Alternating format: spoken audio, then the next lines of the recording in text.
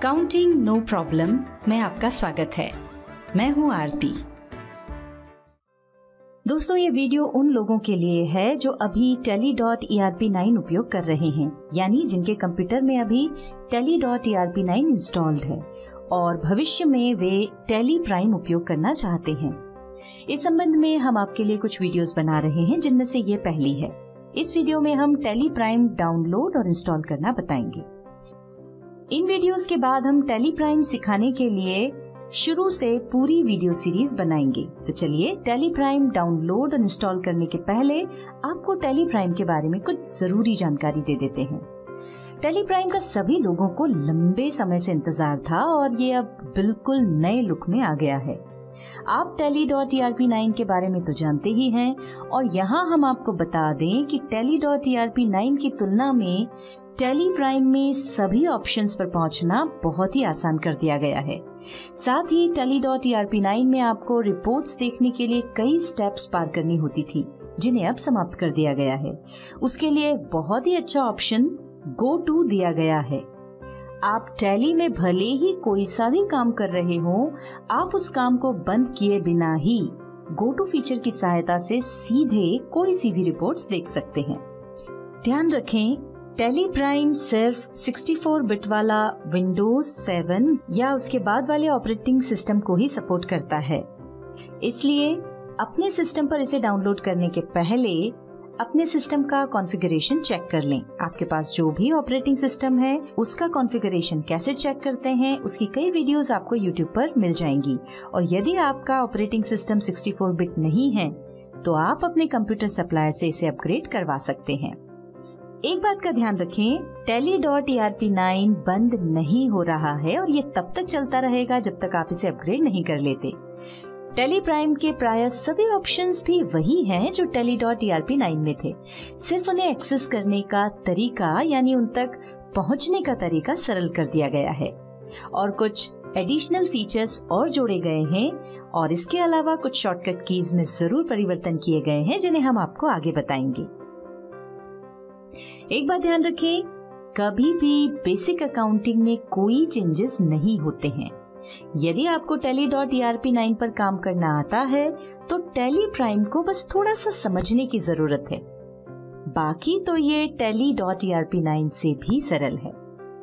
हमारा आपसे निवेदन है कि अभी आप Tally dot E R P nine को सीधे टेली प्राइम में अपग्रेड ना करें।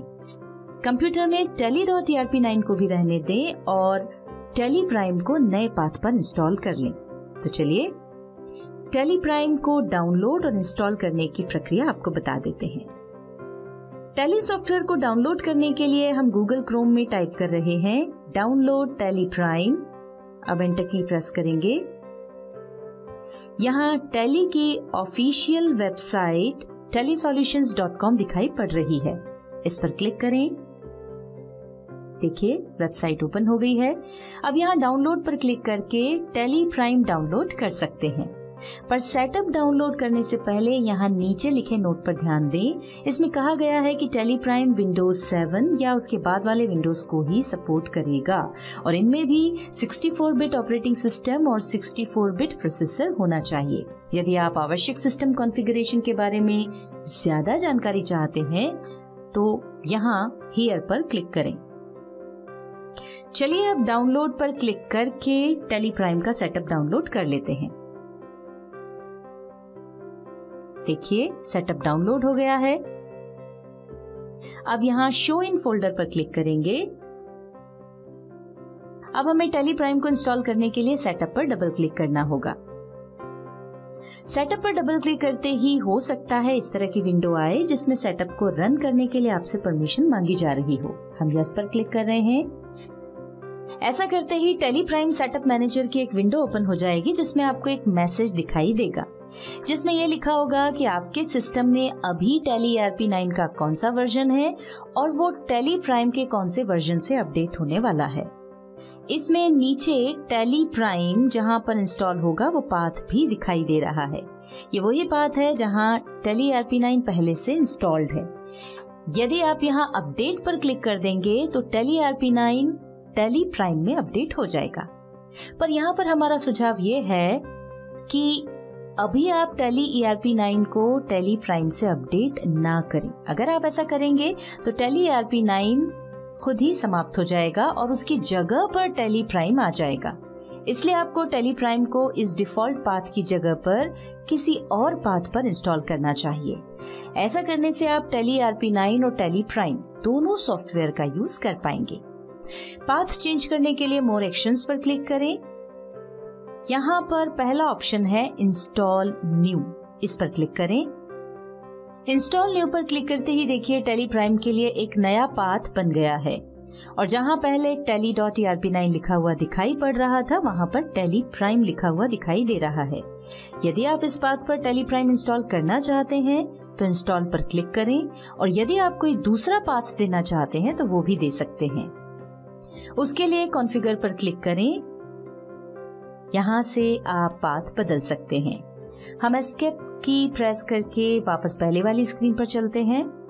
यहाँ हम इंस्टॉल पर क्लिक कर रहे हैं। ऐसा करते ही सॉफ्टवेयर इंस्टॉल होना शुरू हो गया है। और देखिए, कुछ ही समय में टेली प्राइम इंस्टॉल भी हो गया है।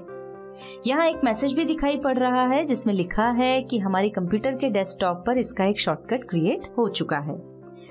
यहाँ हम स्टार्ट टेली प्राइम पर क्लिक करके भी टेली प्राइम को स्टार्ट कर सकते हैं। हम इस पर क्लिक कर रहे हैं। देखिए, हमें एक सुंदर सा एनिमेटेड लोगो दिखाई दे रहा है।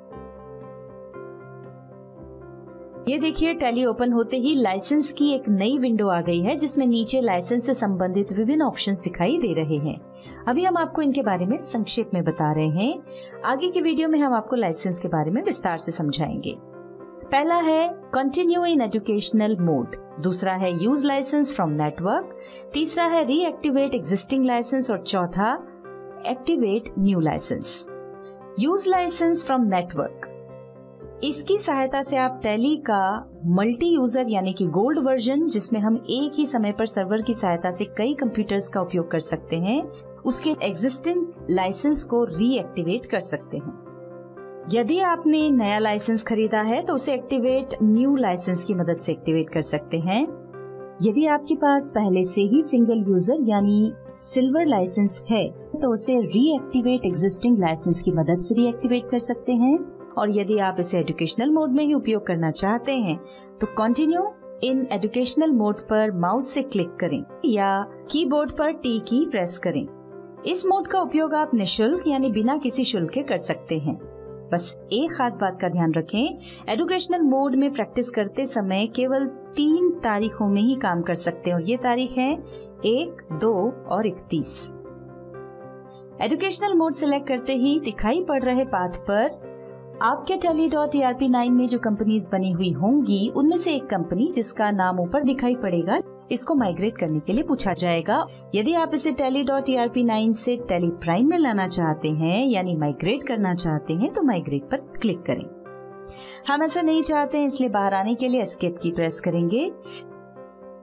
देखिए, ऐसा करते ही हम सिलेक्ट कंपनी की स्क्रीन पर आ गए और जैसा कि आप देख रहे हैं Tally dot E R P nine में हमने जो कंपनीज़ बनाई हुई है, उनके नाम भी यहाँ पर दिखाई पड़ रहे हैं। और उनके आगे माइग्रेशन रिक्वायर्ड लिखा हुआ आ रहा है। हमारा आपसे निवेदन है कि अभी आप टेली प्राइम में क्रिएट कंपनी ऑप्शन से नई कंपनी बनाएँ और उस पर पहले अच्छी तरह से काम करना सीख लें। उसके बाद टेली डॉट ई नाइन में जो कंपनीज़ बनी हुई हैं, उन्हें माइग्रेट करें। जब तक आप इन कंपनीज़ को माइग्रेट नहीं कर देते, तब तक उन कंपनीज़ के आगे माइग्रेशन रिक्वायर्ड का मैसेज आता रहेगा। पर उससे कोई परेशानी नहीं है। ध्यान रखें माइग्रेट करने के बाद ही आप इन कंपनीज़ को टेली प्राइम में उपयोग कर पाएँगे। इसके बाद वाली वीडियो में हम लाइसेंस के बारे में विस्तार से बताएँगे और उसके बाद वाली वीडियो में किसी कंपनी को माइग्रेट कैसे करते हैं, ये बताएँगे। एक बार आपको फिर से याद दिला दें, ये वीडियो सिर्फ़ उन लोगों के काम की है जो अभी Tally dot E R P nine पर काम कर रहे हैं और अब टेली प्राइम पर काम करना चाहते हैं। इन वीडियोस के बाद हम टेली प्राइम पर काम करना सिखाएँगे।